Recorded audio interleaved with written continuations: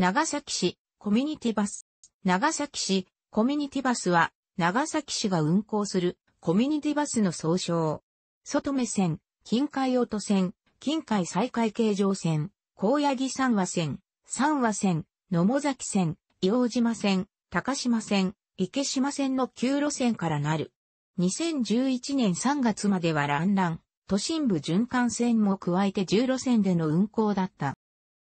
一部の路線では、長崎スマートカードが使えるが、長崎バスや県営バスの直営路線ではないため、乗り継いでも割引は行われない。扇山線北や黒崎線、運行概要、外見地区の扇山線、黒崎地区の北や黒崎線の2路線によって構成されている。どちらも交通の空白域だった場所に路線が設定されている。長崎バス都議営業所の都議小口港線のうち、自称島引く小口港間をコミュニティバス化したもので、バスは長崎バスの通常車両が都議から直通運転している。この点から他の長崎市コミュニティバスとは運行形態が異なるため、本校では説明を省略する。近海地区を6ゾーンに分けて運行されている。運行回数は時間帯別に1日4回。運行概要、一般路線バスが入れない区間を保管する路線であり、普段の利用者は少ないため、デマンド式乗り合いタクシーとして、利用の前日時点で予約があった場合のみ、運行される。車両は小型タクシー車両を使用している。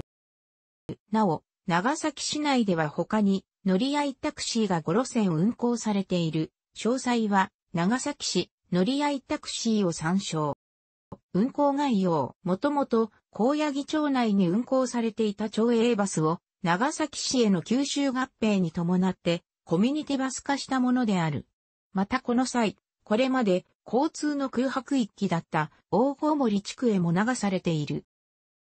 栗立深浦マテガ浦間、平山大団地大籠間、大籠、深堀系統は独自路線だが、それ以外の区間は、長崎バス在来路線と同じルートを運行する。運行概要、旧三和町内で、交通の空白域だった藤旅、上川地区を結ぶ目的で運行が開始された。東田尾から知事間は2009年4月に運行区間が延長された。なお、三和行政センター、知事での長崎バス在来路線、森町、脇岬、晴海台、川原線、都議津茂木線との接続は考慮されていない。運行概要、長崎バスの在来路線と重複運行している区間が多いが、運動公園前から野茂間は独自ルートを運行する。また野々串から三崎木場間は内陸部をショートカットする運行経路になっている。運行概要、元は旧洋島町営バスで長崎市への合併に伴いコミュニティバス化したものである。旧、ランランから転用された車両が使用されている。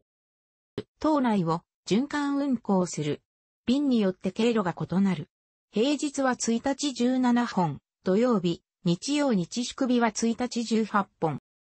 運行概要、運行概要。この路線は再開交通池島線を継承したものである。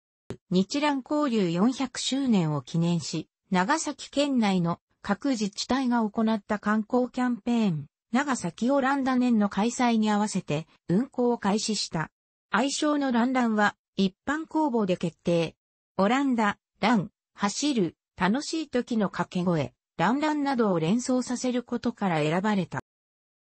運行開始時の車両は57人乗りの中型バス4台。車体カラーにはオランダ王室のシンボルカラーであるオレンジ色を採用した。区間は、グラバー園のある南山手と原爆落下中心地近くの原爆資料館を往復する約11キロ。途中、出島、新地中華街、長崎駅前を経由し、観光客の利便性に配慮したが、路線の大部分は長崎電気軌道と競合した。さらに、電車の低料金、全線100円、ランランは150から170円と渋滞に巻き込まれない。定時運転には立ち打ち出ず、利用客は伸び悩み、ガランガランと揶揄された。そのため、市民からは廃止の声も上がった。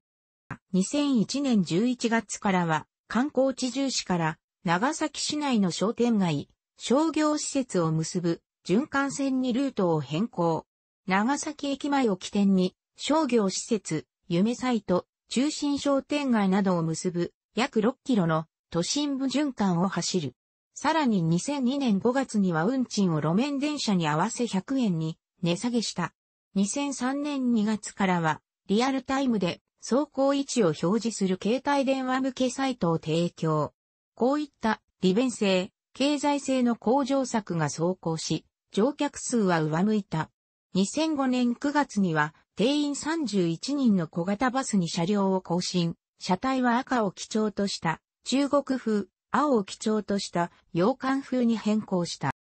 しかしその後の乗客数は長崎サルク博が行われた2006年をピークに緩やかな減少が続き、年間800から900万の赤字が続いていた。このため、長崎市は2010年4月、廃止も視野に入れた上での社会実験として路線変更を実施。また、これと同時に運賃を路面電車の値上げに合わせた120円に値上げした。それでも、運行間隔が変更前、約15から20分間隔より開いた、10から55分程度ことなどがあって利用者はさらに減少したため、2011年3月限りで運行終了した。ランランの運行に使われた4台の小型バスは、その後県営バスが買い取り、長崎お買い物バスとして運行している。時計回り半時計回り、楽しくご覧になりましたら、購読と良いです。クリックしてください。